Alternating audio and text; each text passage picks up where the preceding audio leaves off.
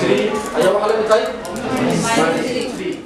tani waa sheekada dugsi lixdan sano dhisan oo la aasaasay. Kun sagaal boqol konton iyo afartii tirsi taariikheedka etoobiya markuu ahaa berigaa magicii loogu yeedhi jiray wuxuu ahaa qudurhulad waxaana dugsigan ka soo farcamay oo ku soo barbaaray waxna ka soo bartay dad fara badan oo magac ku dhexle bulshada siyaasiyiin dhalinyaro baraha bulshada laga yaqaano iyo madax heer federaal ah oo mug iyo miisaanba ku dhexle dalkan etoobiya dugsigan aan ka hadlayo waa dugsiga hoose dhexe. Haddase waxaa loogu yeedhaa magaca wiilwaal cabdisalaan axmed muuse. Waa maamula ku-xigeenka dugsiga wuxuu ka waramayaa taariikhda iskoolkan.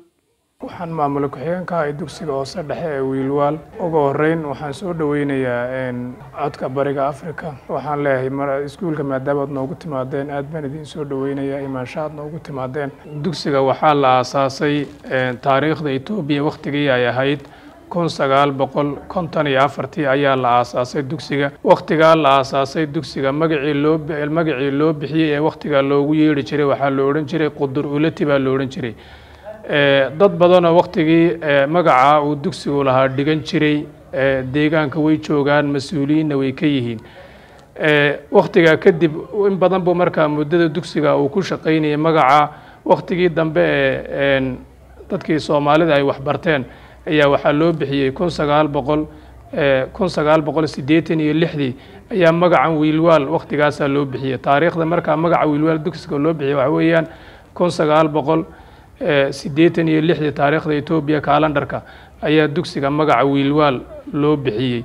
Intii markaa waktigaa ka dambeysay ilaa imika dugsigu markaa waxaa la yidhaahdaa dugsiga hoose dhexe ee wiilwaal baa la yidhahdaa ardayda markaa ka baxda ilaa waktigaasna aad bay u tiro badan yihiin intii u dhexaysay labadii kun iyo sideeddii taariikhda etoobiya ilaa sanadkan labada kun iyo afar iyo tobanka ardayda ka baxday waxay ahaayeen in ka badan labiyo labaatan kun iyo afar boqol oo arday.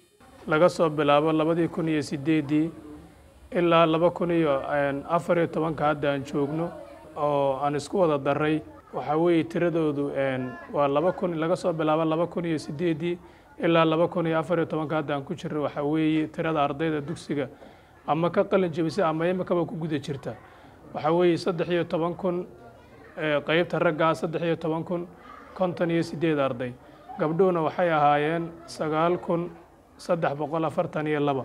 Isku geyntooda waxaa weeyaan laba iyo labaatan kun iyo afar boqol. Waxaa weeye tiradii ardayda labadii kun iyo sideeddii ilaa labada kun iyo saddex iyo tobanka hadda aan ku jiro markii la isku daro.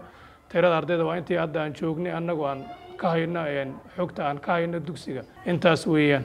Axmed maxamed aadan axmed fiisigis. Waa mid ka mida barayaasha dugsigani oo isaguna ii warramay. Axmed macalin magacayga waa macalin axmed aadan cali oo inta badan ardayda ugu yaqaanaan axmed fisigis runtii horta qaabkan waxaan ugu barnaa ardayda waxa weeyaan imika waxa weeyaan berigii hore horta ardaydu way tiro fara badan bay arday noogu hayeen. Imika laakiin xaaladda corona awgeed waxay noqotay inaan fasaladii xadidno oo tiro yaroo kooban ay ardaydii fasaladii noo fadhiyaan. Isla markaa waxaan qorshihii ma qaadan waxa weeyaan inaan fasal walba ogaano qiimihiisii in ardaydii tayadoodii iyo cashirkii oo si fiican loo gudbay in arday walba aan qiimino ayay imika mataqaa qaabkan wax u dhigna imika tahay. Runtii horta waqtigii aan imida dugsigani wuxuu horta xaalad ka duwan xaaladahan. Sababtoo xaaladda waqtigaasi waxay xaalad aanu macalinku awoodi lahayn inuu ardaygii fasalkii uu kantaroolo yahay taasoo ay keento tirada ardaydu aad u fara badan oo fasalkiiba laga yaabay boqol iyo siddeed arday fadhiyaan. Taasoo macalinka ku adkayd inuu gudbiyo cashirada laakiin maanta xaaladahan ku jirna waxa weeyaan tirada ardaydu ma taqaanaa waa tiro xadidan oo kooban.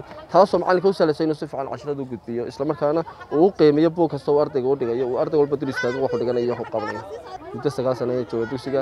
Runtii arday badan baan soo saarnay muddadaan joogay oo maanta aan odhan aan ku faani karo inay noqdaan arday badan oo qaar ku qaar dhakhaatiir yihiin qaar injineer yihiin qaar ay xafiisyada ka shaqeeyaan qaarna yihiin maanta macallimiin aan dugsiyada qaarkood oo dhignay yihiin. Labadii kun ee calendar ayaa waxaan ka soo shaqeeyey degmada jarati ee gobolka afdheer ayaan ka soo shaqeeyey halkaas ayaan ka soo bilaabay mataqaanaa xirfadeedii baranimo halkaasaan ka soo bilaabay oon ka soo shaqeeyey gobolka afdheer samiire aadan guhaad iyo mubaarak cabdicasiis maxamed waxa ay ka mid yihiin ardayda dugsigani waxbarashada ku bilaabay. Magacay waa samiire aadan guhaad fasalka sideedaad baan dhigtaa.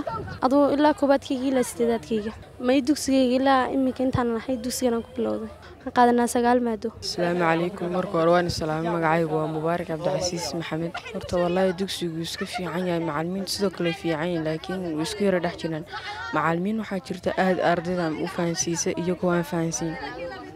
Ardayda banaanada jooga waxaan kula talin lahaa kolleyba dee qofka waxbarta waad ogtahay meeshuu gaadho. Laakiin kaan baran dee xamaali waxaanbu ku dambeeyaa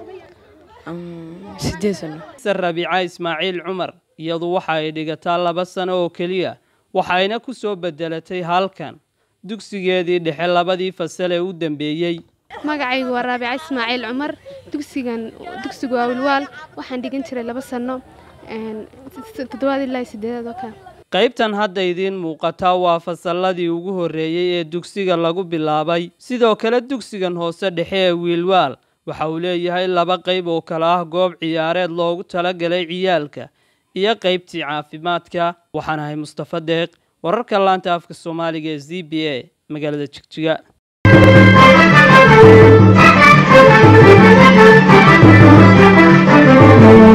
Hadal oo hadal oo hadal oo ku hadal.